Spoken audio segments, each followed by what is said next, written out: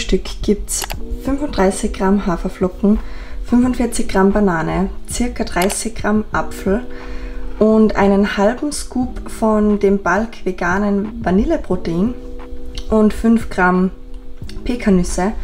Und da hinten haben wir noch einen schwarzen Kaffee.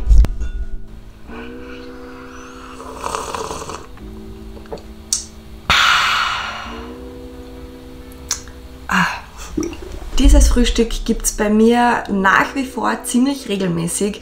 Nicht mehr jeden Tag, also die, die mir schon länger folgen und meine Videos vor allem schon länger verfolgen, wissen, dass ich eine ziemliche Porridge-Liebe immer gehabt habe und vermutlich auch immer haben werde. Es gibt mittlerweile nicht mehr jeden Tag Porridge, aber vor allem im Aufbau finde ich Haferflocken mega. Ich liebe Haferflocken einfach vom Geschmack her und sie lassen sich einfach sehr, sehr gut mit Proteinpulver verbinden, wenn man das richtige Proteinpulver hat. Ich habe das ewig nicht so wirklich gut gefunden, weil ich nie das richtige Proteinpulver für mich gefunden habe. Mit dem Bulk Vanille, was ich euch in meinem Supplement-Video schon gezeigt habe, geht das mega geil, schmeckt es richtig lecker. Die Konsistenz wird auch richtig, richtig gut. Und genau, das ist mein Frühstück. Es sind so um die Let me track. Das sind circa 275 Kalorien. Gemeinsam mit meinem Kaffee, mit meinem schwarzen, was quasi keine Kalorien hat. Nur zwei oder so, aber sowas rechnet ich nicht mit ein. Und es ist aktuell 6.45 Uhr. Durch das, dass ich momentan durch meine momentane Routine wieder relativ früh aufstehe, werdet ihr mir nachher vermutlich oder ziemlich sicher ein zweites Frühstück machen und essen sehen.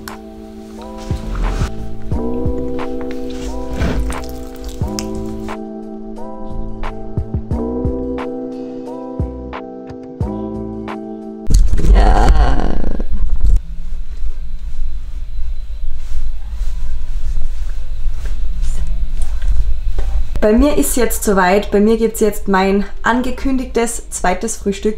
Meistens, wenn ich zu Hause bin, sind es Eier. Wenn ich unterwegs bin oder wenn ich einfach keinen Zugang zu einem Herd habe, dann ist es entweder meistens ein Proteinriegel, ein Proteinshake oder hartgekochte Eier.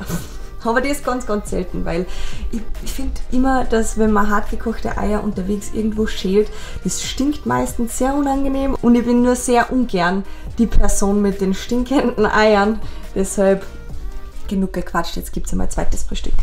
Das ist unser Eiervorrat. Ich isst ziemlich gern ziemlich viel Eier, deshalb a lot of eggs.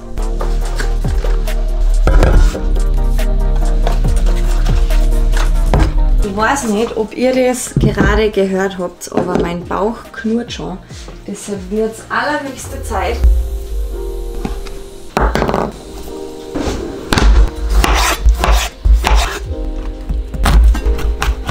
Ignoriert den kleinen Saustall im Hintergrund. Ihr müsst den Geschirrspüler noch ausräumen.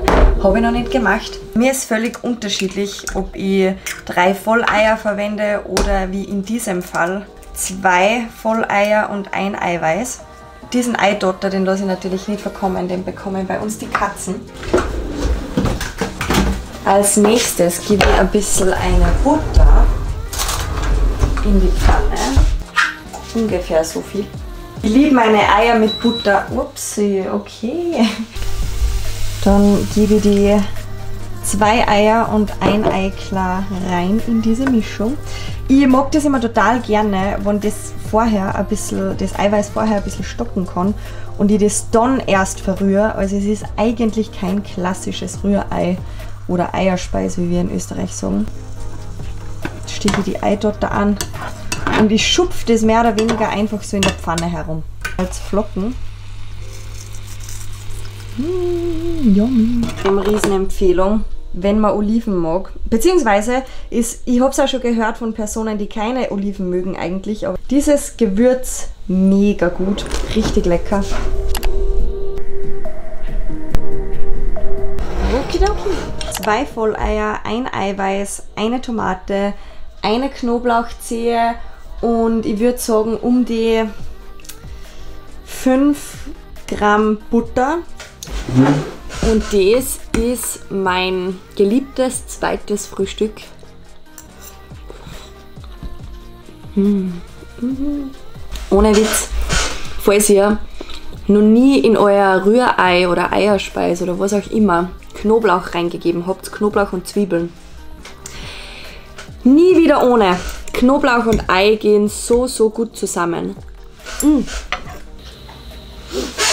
Die Kalorien ups, die Kalorien von diesem Ding blende ich euch ein.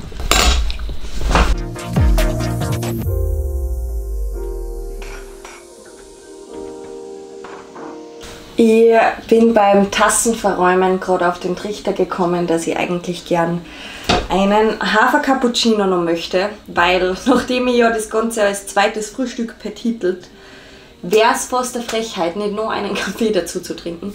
Spaß beiseite, wirklich Koffeinkonsum im Übermaß ist wirklich nicht gut. Ich trinke aktuell zwei Tassen Kaffee am Tag. Hin und wieder drei, muss ich jetzt ganz ehrlich sagen. Aber auch nur, weil ich das momentan irgendwie vertrage. Normalerweise bin ich extrem koffeinsensibel. Und wenn ich das spüre, also wenn ich merke, das Koffein macht irgendwie das ungute Aufgekratztsein mit mir, dann trinke keinen Kaffee oder mache Kaffeepause, was ich generell zwischendurch immer wieder gerne mal mache. Aber jetzt zur Zeit roll the coffee train, weil momentan vertrage ich es anscheinend ziemlich gut.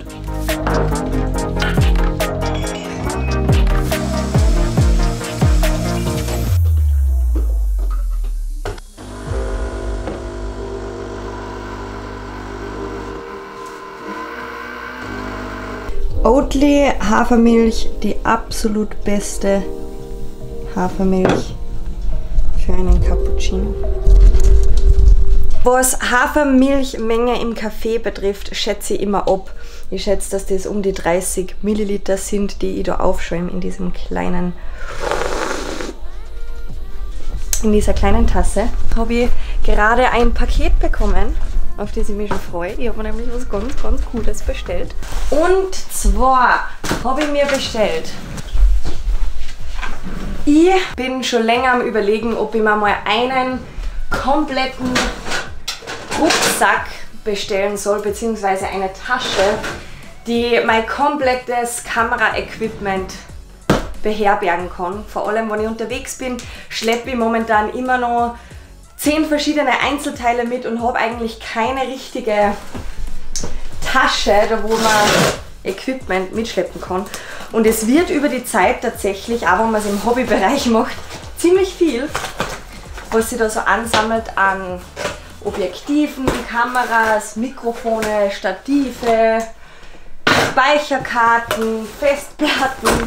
Und deshalb weiß der Anlass, uh, weil es der Anlass jetzt auch ergeben hat, weil ich nächste Woche unterwegs bin für ein Fotoshooting, habe ich mir auf Amazon einen Rucksack gegönnt und den schauen wir uns jetzt einmal an.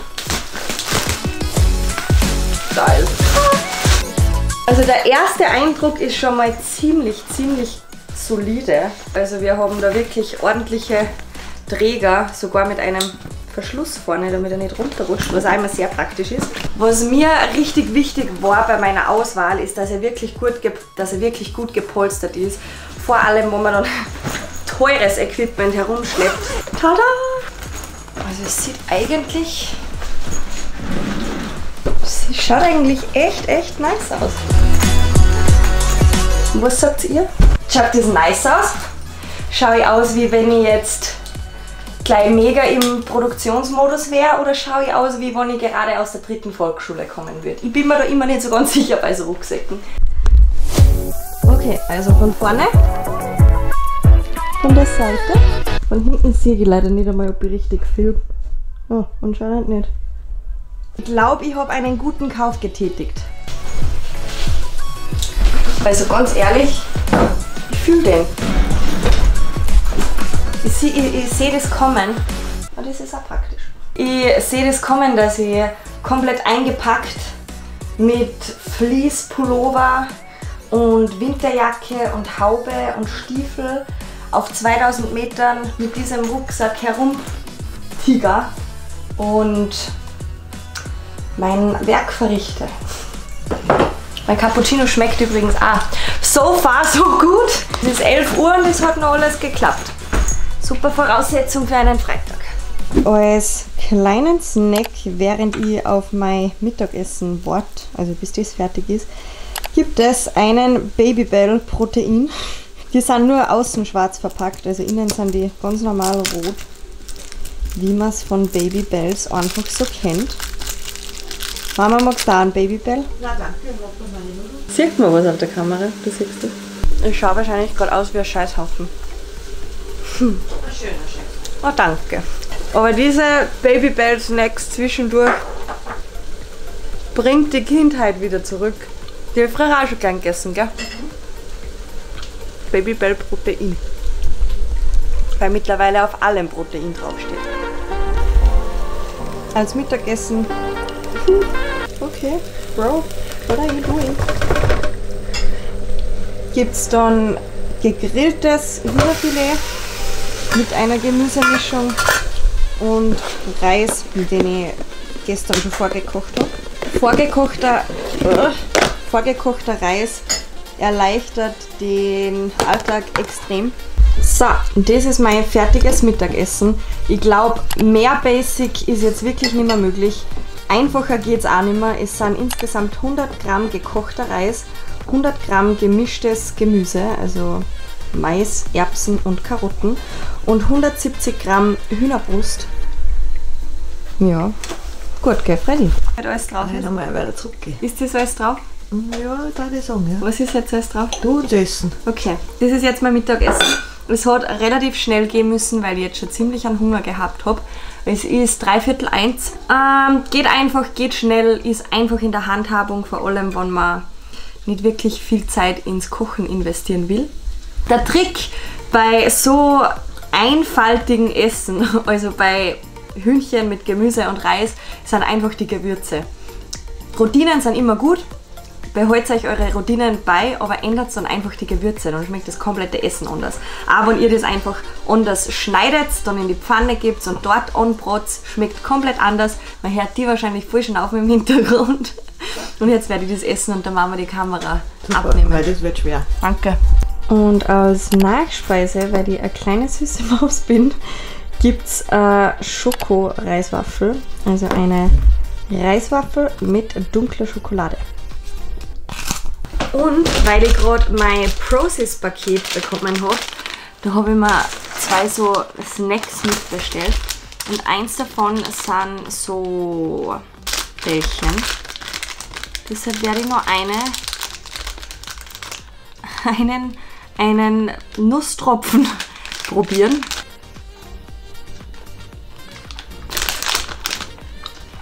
Mmh. Da drinnen sind Datteln, Rosinen, Rosinen. Ich habe gerade einen richtig schönen Mix aus Rosinen und Raisins gemacht, weil da Raisins steht. Rosinen, Erdnüssen, Chiasamen und Kokosnuss. Aber sehr süß. Noch einen gespeist. Und einer hat 24 Kalorien und 0,4 Gramm Eiweiß.